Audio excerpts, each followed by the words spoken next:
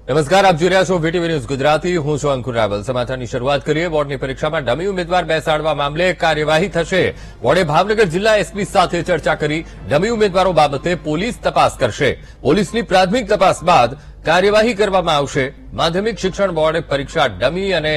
વિદ્યાર્થી સામે કાર્યવાહી કરશે ત્યારે ડમી વિદ્યાર્થી ત્રણ વર્ષ સુધી પરીક્ષા નહીં આપી શકે વિદ્યાર્થીનું પરિણામ કરવામાં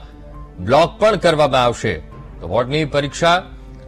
તો ડમી વિદ્યાર્થી મામલે બોર્ડે ભાવનગર જિલ્લા એસપી સાથે પણ ચર્ચા કરી છે તો આજ મુદ્દે સંવાદદાતા મેહુલ ફોનલાઈન પર જોડાઈ ગયા છે મેહુલ ડમીકાંડ અને ડમીકાંડ બાદ તપાસનો ધમધમાટ તેજ કર્યો છે ત્યારે બોર્ડે ભાવનગર જિલ્લા એસપી સાથે પણ ચર્ચા કરવાની વાત કરી છે વિદ્યાર્થીનું પરિણામ બ્લોક કરવામાં આવશે તેવી પણ વાત છે વિગતો મેહુલ અ, બિલકુલ જી, અંશુ, અ, જે પ્રમાણે વિગતો પ્રાપ્ત થઈ રહી છે તે પ્રમાણે અ, જે આક્ષેપ અ, યુવાનથી દ્વારા કરવામાં આવ્યા હતા અને જે વિડીયો અ, આપવામાં આવ્યા હતા જે ઉમેદવાર જે તેમના દ્વારા સોનપાની પરીક્ષા જે તે આપવામાં આવી છે. આ જે વિજય જાહેર થયા છે તે બાદ હવે બોર્ડ હરકતમાં આવી છે. એવા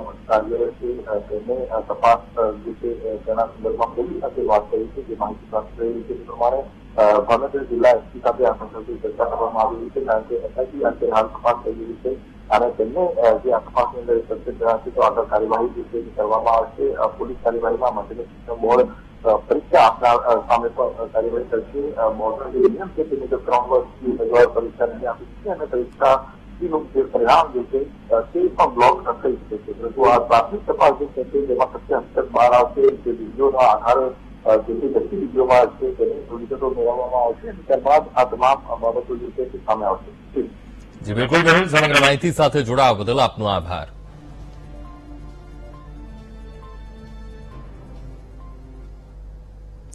તો બરોડા ડેરીના નવા પ્રમુખ